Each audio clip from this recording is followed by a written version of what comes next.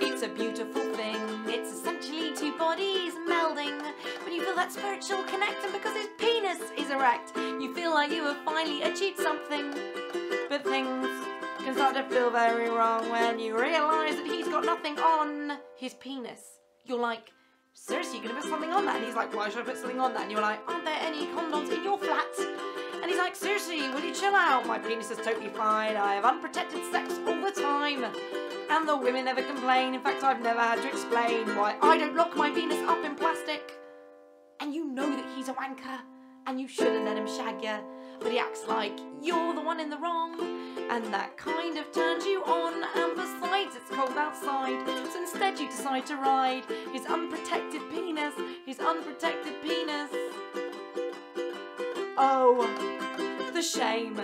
At least he never came inside me. Oh, I might get an STD, but at least I won't have his baby. At least I think that's what the Catholics told me. Don't judge me too harshly, I know I'm really shit. But I was feeling insecure, and besides, he's really fit. Oh, the shame. At least it never came inside me. Don't judge me too harshly, I should have gone out the door. But although mentally I'm a feminist, in practice I'm quite poor. Oh, the shame. At least he only